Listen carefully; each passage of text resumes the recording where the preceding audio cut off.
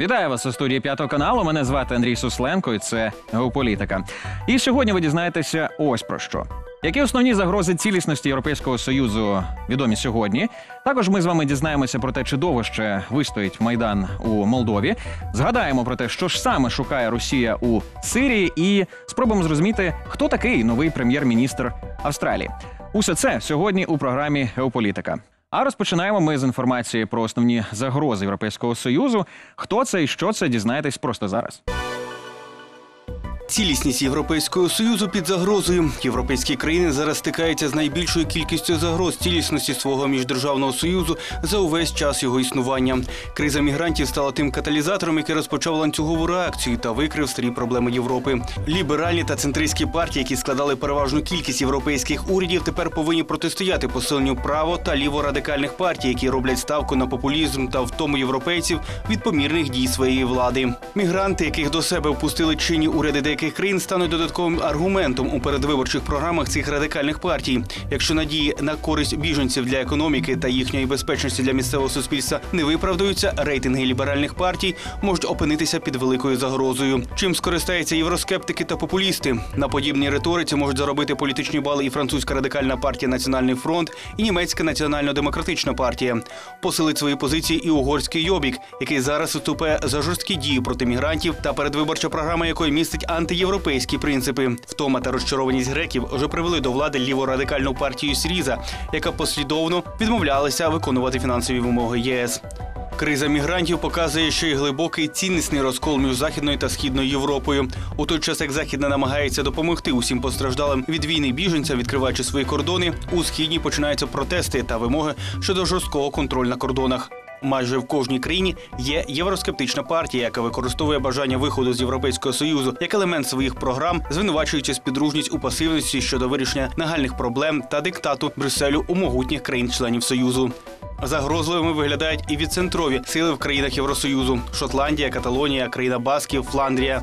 Націоналістичні сили, що прагнуть автономії або незалежності від цих регіонів, також збільшують свій вплив на тлі проблем у Європейському Союзі та своїх країнах. Хоча перший референдум щодо незалежності Шотландії показав, що більшість шотландців все ж бажають бути у складі Британії. Перевага була незначною, і місцеві націоналістичні партії вже готуються до другого голосування.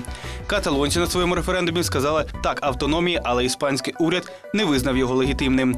Якщо хоча б частина держави вийде зі складу Європейського союзу, то це створить прецедент для виходу інших від Угорщини до Великої Британії. Ми повертаємось до студії п'ятого каналу. Це геополітика з Андрієм Сусленком. Зараз ми більш детально обговоримо кризу у Європейському Союзі. Ростислав Томенчук завітав до нас у гості, директор інституту міжнародної політики. Вітаю вас, Ростиславе. Вітаю. Вочевидь, міграційна криза стала таким каталізатором так розмов, е, сут- суттєвих розмов, глибинних розмов про кризу, фундаментальну кризу Європейського союзу. І мені б хотілося, щоб ви допомогли нам з глядачами краще зрозуміти, окрім міграційної кризи, як поверхні, так айсберга, як у цього піку айсбергу, що ще є фундаментальними елементами кризи цієї.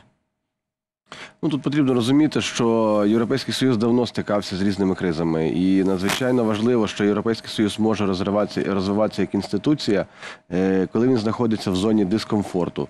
Тому я думаю, що навіть оця криза міграції, яка яка сьогодні виникла, е, Європейський Союз зможе її подолати швидко. Е, Є зараз проблеми пов'язані з різними країнами, з різними позиціями. Очевидно, що ті країни, в яких перше заїжджають мігранти, вони повинні їх реєструвати. Реєструвати вони не хочуть, тому що вони йдуть далі. І тут є конфуз, який закладений в принципі Європейського Союзу. Що одна країна реєструє біженця, а насправді біженець їде до іншої країни. Але відповідальність за цього несе та країна, яка її зареєструвала цього біженця. Тобто це одна з ключових криз, які зараз стикнулися в Європу. Оскільки Європа побудована за принципом солідарності, це основоположні принципи Європейського Союзу. Звичайно, що зараз країни піднімають питання, що ми повинні спільно вирішувати, е, спільно вирішувати, як боротися з кризою оцих от е, мігрантів. До речі, віце-канцлер Німеччини учора е, зазначив, що міграційна криза це навіть гірше ніж е, криза грецька, яка настільки сильно вдарила і по економіці, взагалі по е, інтегральності Європейського союзу. Е, і ось мені цікаво, принципи, які зак- закладені в Європейський Союз, вони справді дозволять подолати цю міграційну кризу.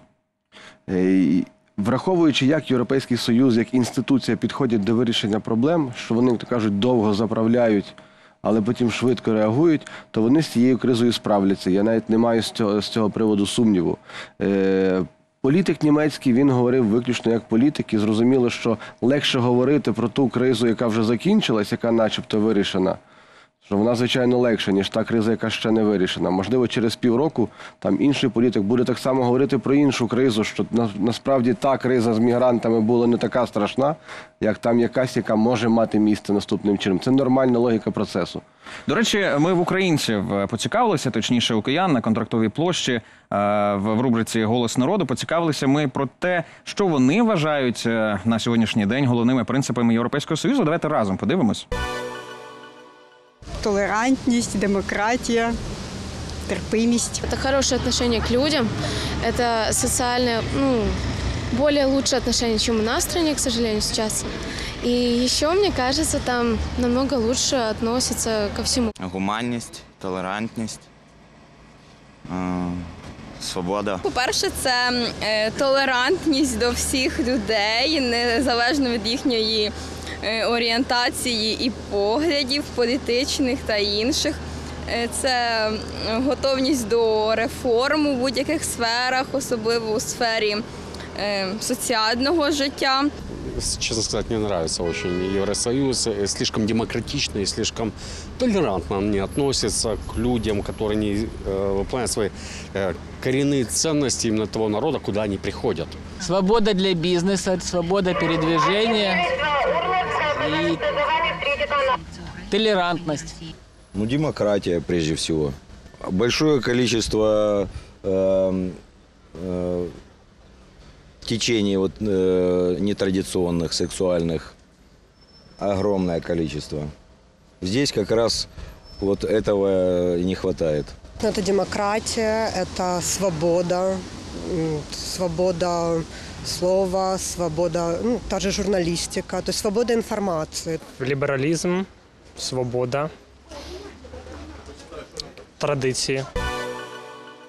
Повертаємось до студії. Ростислав, бачите, українці е, погоджуються разом з нами, погоджуються з Вікіпедією е, про те, що основні принципи Європейського Союзу це є толерантність, свобода і свобода руху, е, економічна свобода, в тому числі. І ось сьогодні ця міграційна криза, яка е, сколихнула усі світові змі, в тому числі, і особливо сколихнула радикалів лівих та правих, євроскептиків, власне, у самій Європі. Тепер це все може призвести е, до майбутнього можливого переформатування Європейського Союзу. Тепер ми не будемо бачити звичний для нас Європейський Союз. Е, Це так, цей процес почався, і я не можу сказати, що це гірше для України.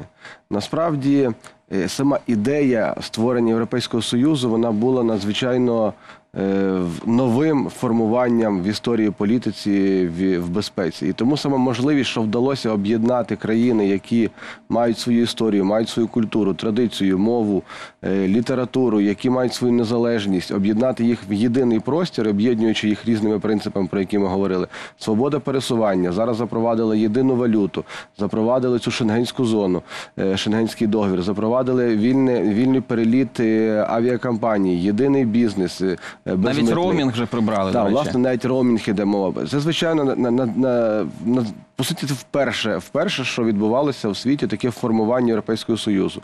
І очевидно, що там, скажімо, Росії і ряду інших країн, е, воно сприймається як, е, як чуже, і, звичайно, що хотілося, щоб в когось не вийшло чогось досягти в такому форматі. Тому що результат, який дає цей принцип об'єднаної Європи, він є надзвичайно позитивний як в економічному, так і в політичному, е, політичному змісті. Очевидно, що ці виклики, які стоять зараз перед Європейським Союзом загалом і перед кожною країною окремою, вони є складні навіть для нас, українців. Тобто ті, е, ті завдання, які би українці хотіли б ставити до європейців, щоб вони швидше приймали рішення, вони є значно на вищому рівні, ніж те, як би могли б українці реагувати в даній ситуації. Я не знаю, як українці би зреагували, якщо б поставити їх на, на місце е, на місце угорців, які зараз борються з мігрантами. Я не знаю, як би поставити українців на місце голландців, які зупинили прийняття нового статуту референдуму е, по, по, по зміні е, по зміні формату Європейського Союзу. Тому це нас- насправді дуже складні процеси. Зараз Європейський Союз живе з по Лісабонському договору.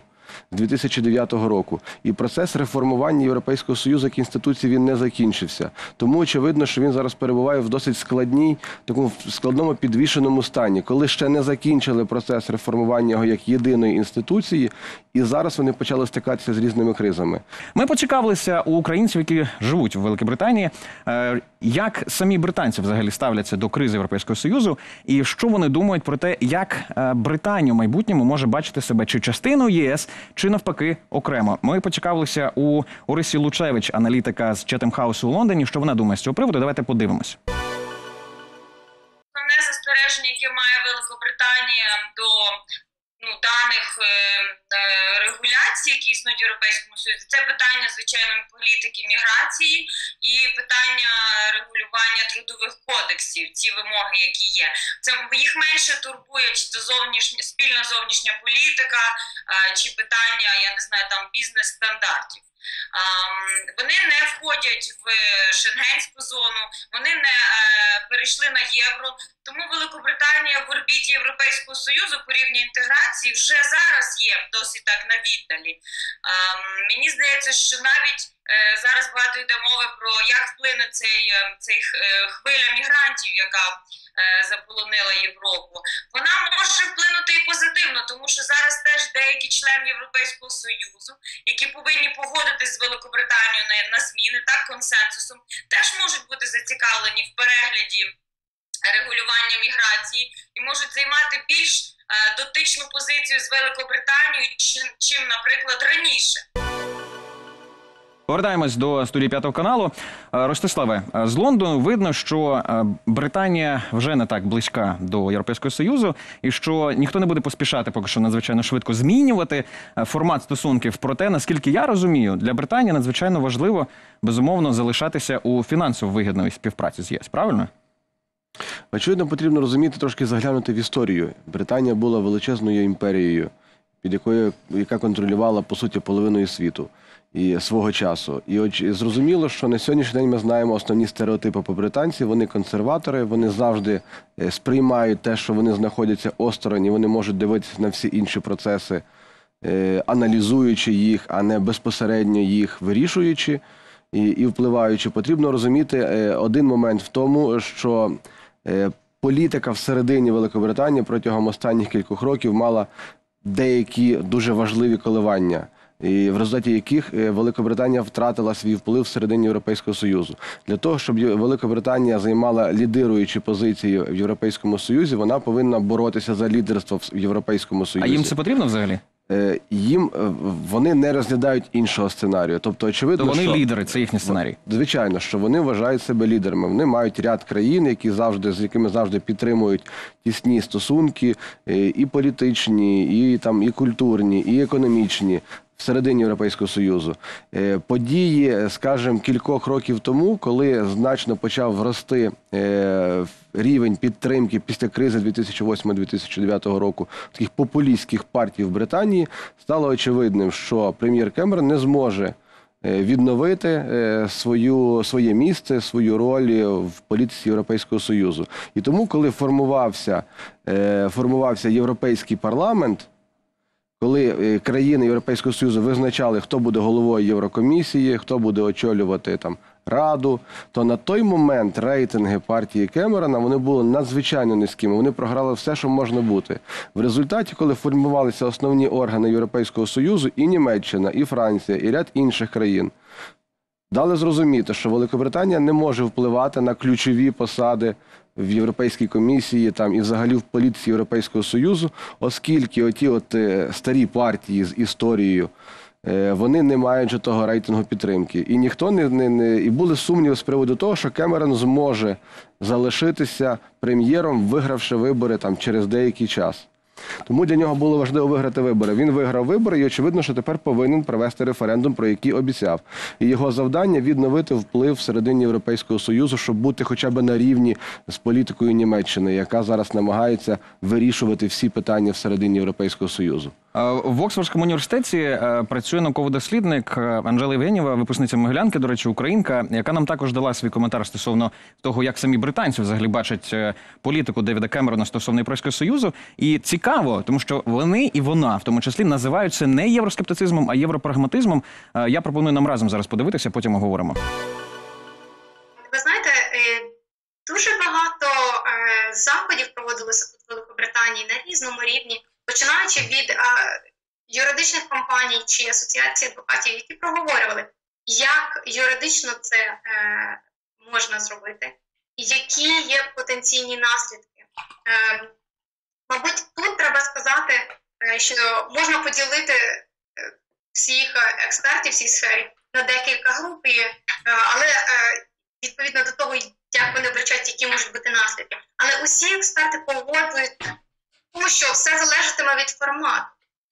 Так? Тобто, в якому сенсі Великобританія залишить Європейський Союз? Е, який формат відносин буде обрано натомість? Тому що ми бачимо різні варіанти. Так, ми бачимо варіант Норвегії, ми бачимо варіант Швейцарії. Е, треба розуміти, що е, Великобританія в Європейському Союзі чи Великобританія поза межами Європейського Союзу все рівно буде Великобританія, яка надзвичайно зацікавлена вільному ринку.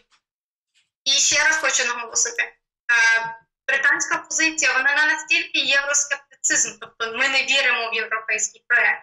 Ні, це питання в тому, щоб знайти більш прагматично підходи. Питання в тому, щоб дати можливість Великобританії відстоювати ті інтереси, які вони вбачають під загрозою в результаті подальшої інтеграції в Європейському Союзі. Повертаємось до студії. Ростислав Томенчук у нас у гостях.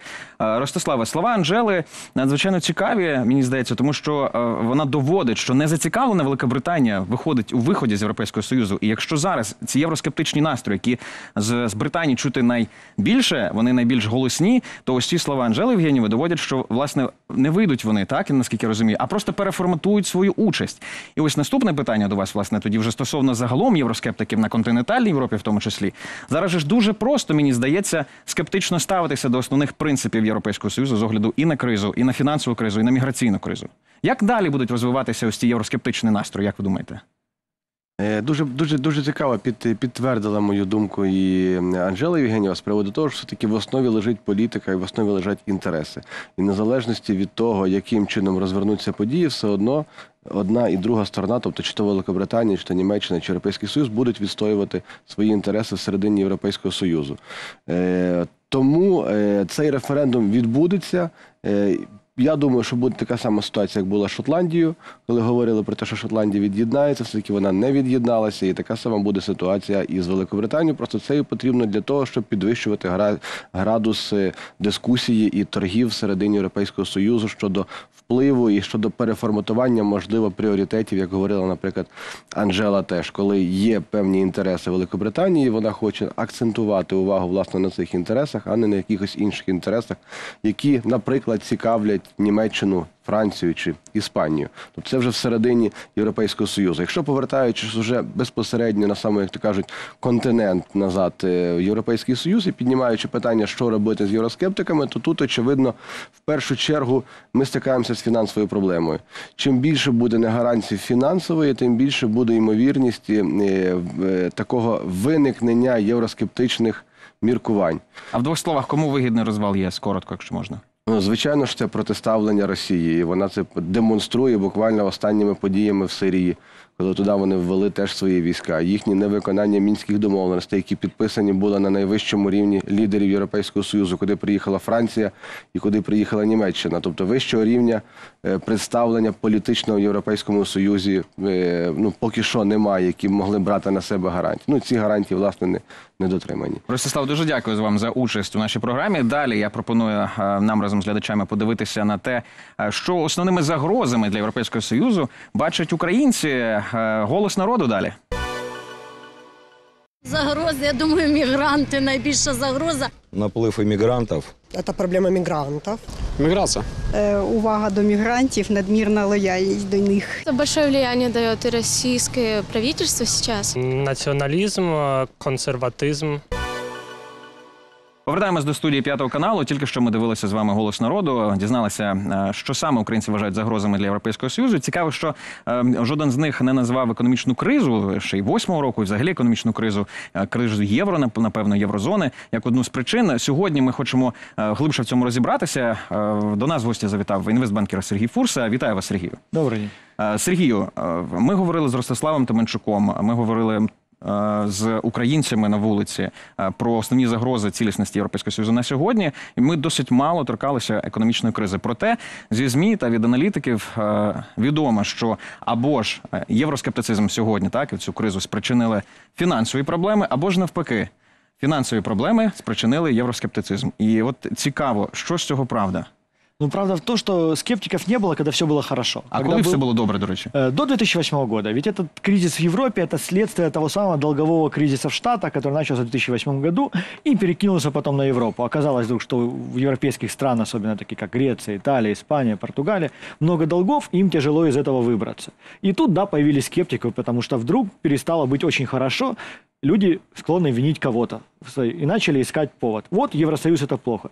Это просто промежуточный этап, и вот количество скептиков существенно выросло только из-за того, что появились экономические проблемы. И самый простой ответ на вопрос, всегда люди ищут простые ответы, виноват Евросоюз. Це найпростіша відповідь на питання, хто винний у кризі, чи хто винний у тому, що немає грошей. Э, Ну, что такое кризис? Это когда нет денег, да? когда денег становится меньше, когда меньше возможностей заработать, когда растет безработица. Ответ, конечно, вот э, европейский, а сейчас очень удобно спихнуть это на мигрантов. А, Грексіт і Брексіт. Е, Вихід Греції можливий з ЄС. Зараз Британія можливий вихід з ЄС. Наскільки це можливо економічно? Як ви як ви думаєте? Чи це взагалі вигідно було би для Греції, для Великобританії і для самого єС? Э, Нет, и именно поэтому этого не случится. Потому что ЕС – это дата, что объединяет ЕС? Видимо, это ценности, которые общие для Евросоюза, это безусловно. Э, А де-факто это экономика, экономика, еще раз экономика. Поэтому выход любой из страны из э, экономики, вот из общего экономического пространства неимоверной силой будет ударом по э, экономике этой страны, ну и по Евросоюзу.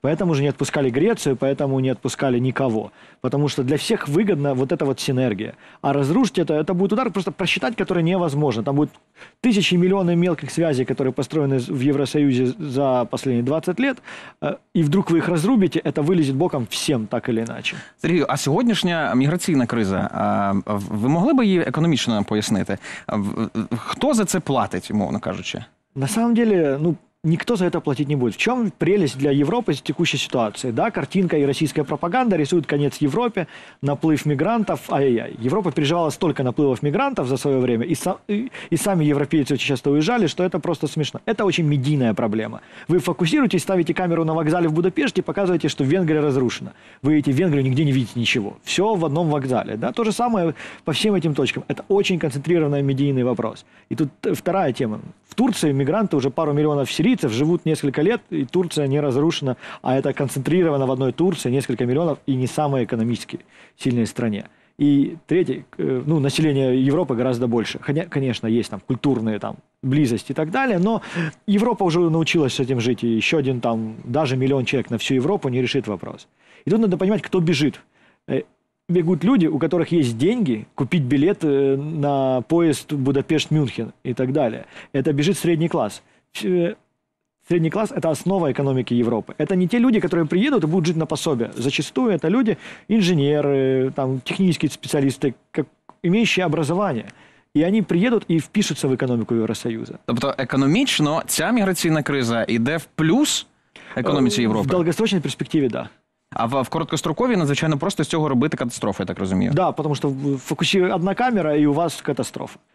А якщо короткий прогноз е, на декілька, ну, можливо, на декілька найближчих місяців, е, економічний прогноз, прогноз е, в Європейському Союзі від вас? Собственно говоря, каких-то знаковых событий ожидать в ближайшее время вообще не стоит. Там все спокойно. Вот в Багдаде все спокойно, вот в Европе все гораздо спокойнее. Звучить оптимістично на цій ноті. Я вам хочу подякувати за вашу участь, за те, що ви так швидко і зрозуміло пояснили, що ж насправді відбувається зараз в економіці. Є чого боятися. Дякую вам. Сергій Фурса був у нас у гостях. е, Інвестбанкір. Далі я пропоную нам подивитися е, особливий, особливу точку зору е, на те, що є основними загрозами Європейського союзу. Поки ми робили рубрику для вас голос народу, нам вдалося вдалося отримати коментар від Ігоря Лосєва, кандидата філософських наук та доцентра кафедри культурології наукма. Давайте подивимось.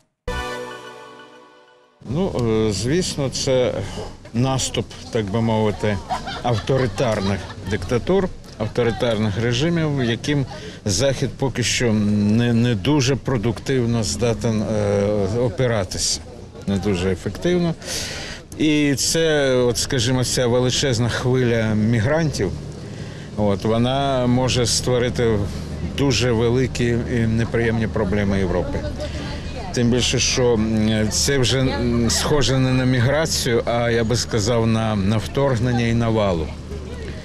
І як Європа це переживе, сказати важко, тим більше, що це люди, які вже навряд чи будуть асимілюватися, вони намагатимуться навпаки асимілювати Європу, нав'язати свої звичаї. Е, Європа останні роки якраз продемонструвала, що вона не здатна цих людей закликати до порядку, не здатна ставити їх в певні умови. І це створює їм ну, великі такі кризові ситуації.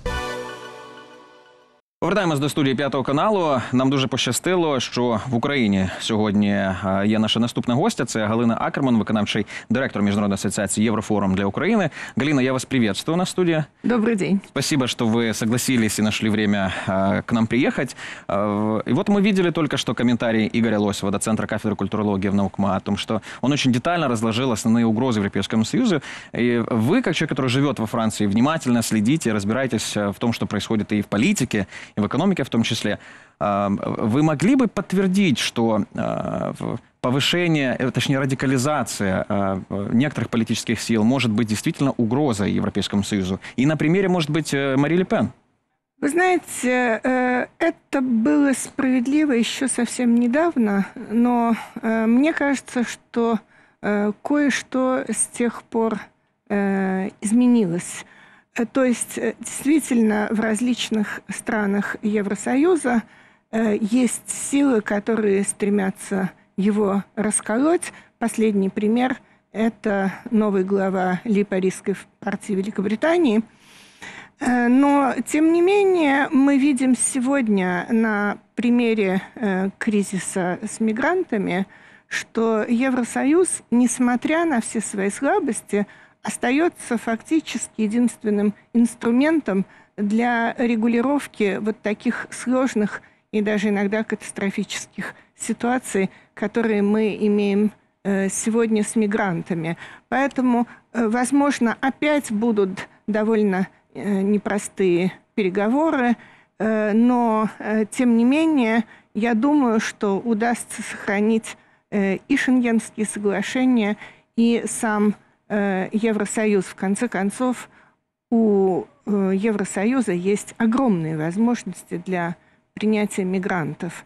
И э, я думаю, что, э, например, э, э, когда, когда произошла эта исламская революция в Иране, хлынул в Европу поток беженцев из Ирана. Они были в некотором смысле сходным человеческим материалом, если так можно сказать, э, с беженцами из Сирии. То есть э, э, и Иран при Шахе, и Сирия при Асаде, э, хотя это были э, авторитарные режимы, можно сказать, даже диктаторские режимы, были и есть в случае Асада, Э, но тем не менее это были режимы светские, э, где, э, так сказать, население получало достаточно хорошее образование.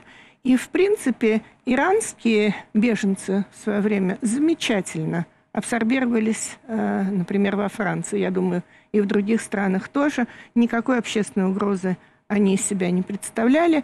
И, кстати говоря, сегодня раздаются, конечно, голоса евроскептиков в связи с кризисом мигрантов, но раздаются голоса и тех, кто, например, как э, известный экономист и э, такой общественный деятель Жак Аттали, которые говорят, что мигранты – это счастье и надежда для Европы, стареющей Европы, которой нужны, ну, нужен приток молодых, э, активных людей. Тем более я говорю, что из Сирии в значительной степени это как раз не какое-то там отсталое, э, очень сильно исламизированное население, а много молодых людей вполне светских. Но я могу себе представить, что это должно привести все равно к некоторому переформатированию или Европейского Союза, или Шенгенской зоны. А Сейчас поэтому э, я предлагаю нам посмотреть комментарий знакомой вам и мне Елены Габриэлян, журналистки из, э, из Парижа, канал э, РФИ. Она рассказывала о том, что,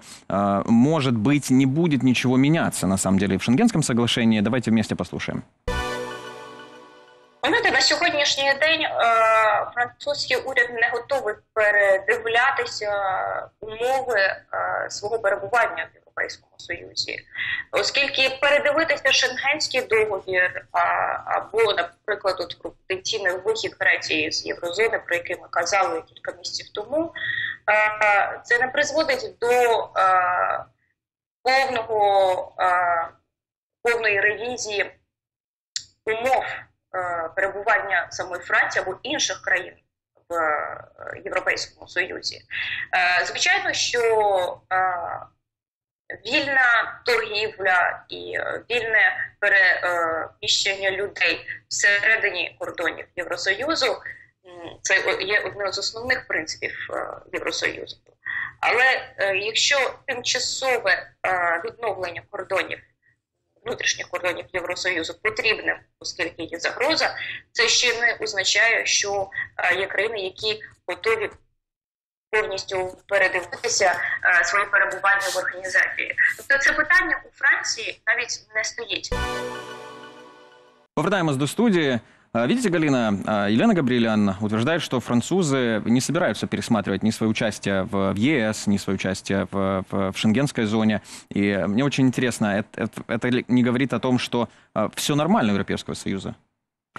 Нет, но вы знаете, греческий кризис показал, что на самом деле Европейский Союз довольно надежная конструкция. Как э, ни странно, э, Владимир Путин спас Грецию и Евросоюз от сценария Грексита, потому что в последний момент после референдума, на котором сторонники нет э, мерам жесткой экономии э, получили большинство, э, Владимир Путин не дал обещанные 10 миллиардов. И таким образом Греция ничего не осталось, Ципросу ничего не осталось, как принять правила игры европейской. Я думаю, что это показывает, что когда европейскую лодку как-то специально очень сильно не раскачивают извне, потому что, несомненно, э, сценарий Грексита, который был подогрет Россией, а потом э, Путин из-за того, что его собственное экономическое положение сейчас достаточно плохо, э, решил не поддерживать этого. В общем-то, Евросоюз обладает большим запасом прочности. И я думаю, что сегодня, именно после этого урока Греции, вот эти э, евробежные, если так можно сказать, тенденции вряд ли получат большинство в какой-либо стране, потому что мы уже видели, что сценарий выхода из евро, и тем более выхода из Евросоюза, грозит колоссальными осложнениями для самой страны, которая предпринимает этот шаг. Я лично не предвижу сценария э, развала Евросоюза. А если коротко, вот э, Елена Габриэлян э, отдельно вне этого интервью э, рассказывала о очень сильной поддержке э, Россией э, Мари Ле Пен. И евроскептики, я так подозреваю, и левые, и правые радикалы в том числе в Европе также получают поддержку от э, Владимира Путина. Мы видим, что сегодня э, гораздо больше озвученная поддержка Путину идет не от Марин Ле Пен, а от Саркози и его партии. А это классические правые, это гулисты.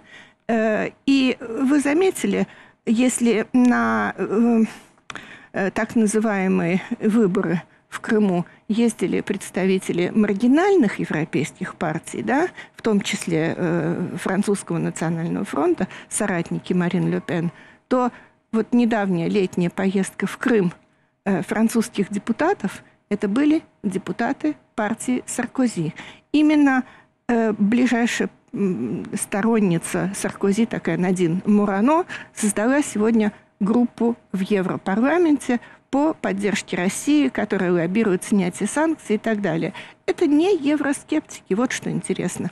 Это люди, которые хотят сохранения Евросоюза, но э, при этом проводя более популистскую политику и э, политику сближения с Россией. И сегодня Путин будет опираться, на мой взгляд, не на евроскептиков, потому что, еще раз я говорю, развал Евросоюза сегодня, когда Россия полностью приперта к стенке, когда э, дружба с Китаем, так сказать, провалилась, потому что сам Китай находится в плохом положении, когда провалились проекты разных трубопроводов, когда есть э, дело ЮКОСа, то есть иск на 50 миллиардов, это не 10 миллиардов в Греции, 50 миллиардов, когда висит дело с малазийским Боингом. То есть, короче говоря, вот в этой э, ситуации, когда Россия сильно приперта к стенке, я думаю, что она будет искать сближения с Евросоюзом, но, естественно, на своих условиях, то есть снятие санкций и так далее. Но мы в целом делаем вывод, э, что этот кризис Европейский Союз переживет, потому как является достаточно сильной институцией. Э, На этом будем заканчивать нашу встречу. Я вам очень благодарен, Галина, за то, что вы нашли время к к нам приехать. Э, Будем следить за вашими успехами во Франции. Надеюсь, мы еще в Киеве с вами увидимся. Е, Галина Акерман була у нас у гостях, виконавчий директор Міжнародної асоціації Єврофорум для України. Далі ми продовжимо з основними подіями, що відбулися минулого тижня у світі з Manchester. Росія продовжує переправляти зброю до Сирії. Інформаційні агенції Reuters на умовах анонімності повідомили про розміщення семи російських танків Т-90 поблизу Латакії, де зараз знаходиться офіційна резиденція сирійського президента Башара Аль-Асада. Окрім того, Пентагон неодноразово повідомляв про намір росіян і надалі використовувати базу в Латакії для військових операцій на території Сирії. Міністр закордонних справ Російської Федерації Сергій Лавров раніше заявляв, що поставки зброї виконуються в межах військового співробітництва Кремля та Дамаску. Це неодмінно буде супроводжуватися збільшенням російських військових спеціалістів для інструктування сирійських солдат, що в подальшому може призвести до ескалації конфлікту в країні. В Австралії буде новий прем'єр-міністр. Правляча ліберальна партія у понеділок проголосувала проти чинного прем'єр-міністра Тоні Ебота на користь його давнього опонента Малькольма Тернбула. Тернбул, мультимільйонер та підприємець, стане вже четвертим очільником Австралії за останні два роки. Багато в чому подібні кадрові ротації пов'язують з втратою довіри до ліберальної партії, яка виступає за радикальну приватизацію, бюджетні скорочення та відома своєю нетерпимістю до біженців. Малькольм Тербун відомий як доволі помірний у своїх висловах політик, що повинен пом'якшити консервативну партійну риторику та не допустити посилення їх конкурентів лейбористів. Утім, він зіткнеться з тими ж проблемою, що його попередник скороченням економіки та недовірою австралійців до влади, яка втомилася від політичних перестановок. Венесуельського лідера опозиції засудили до 13 років в'язниці. Суд столиці Венесуели прийняв рішення про позбавлення волі Леопольда Лопеса, одного з лідерів опозиції. Офіційною причиною стала участь Лопеса у мирному протесті проти уряду чинного президента Ніколаса Мадуро та вимоги звільнити політичних в'язнів. Суд над опозиційним політиком тривав 19 місяців, упродовж яких, за даними місцевих активістів, йому відмовляли у базових правах на захист. Лопес, який раніше був мером невеликого міста Чакао, вважається одним з найпопулярніших політиків в країні і тому є загрозою для президента Мадуро. Утім, опозиція розраховує на парламентські вибори, де буде можливість отримати контроль над конгресом та звільнити Леопольдо Лопеса. У Молдові продовжуються протести. Мітингувальники прийняли резолюцію, що закликає до загальнодержавного страйку та формування уряду народної довіри. За словами одного з лідерів протесту Андрея Анастасе, у разі невиконання чинної влади висунених вимог це продемонструє її повну некомпетентність та нездатність підтримувати достойний рівень життя в Україні. У неділю на площу великого національного зібрання у черговий раз вийшло більше 15 тисяч невдоволених корупцією в країні та чинним урядом Молдови. Далі ми продовжимо з рубрикою Герой тижня. І цього разу ми обрали компанію Google, яка вже пожертвувала 5 мільйонів євро на усі потреби біженців, та що обіцяла докласти рівно стільки ж грошей, скільки ви зможете пожертвувати через сайт Google для біженців. Міграційна криза творить і антигероїв нашої передачі. Цього тижня Віктор Орбан, прем'єр Угорщини, став антигероєм. Е, Мало того, що він уже побудував паркан е, на кордоні Сербії, так ще цього разу сказав, що якщо наплив біженців не зменшиться, він побудує паркан ще й на кордоні з Хорватією. Далі ми переходимо до рубрики здивування тижня. І цього разу ми вибираємо президента Зімбабве. Це Роберт Мугабе, якому 91 рік. І на церемонії відкриття парламентської сесії він прочитав не ту промову і не помітив своєї помилки. І всі 25 хвилин усі його уважно слухали. Відомо від змі зімбабвійських, що пізніше того ж дня він зачитав правильну промову вже в одному із столичних готелів. На чому все. Партнером програми є Міжнародний центр перспективних досліджень. Мене звати Андрій Сусленко. Це геополітика. І ми з вами побачимося рівно за тиждень у суботу о 20.10 на п'ятому.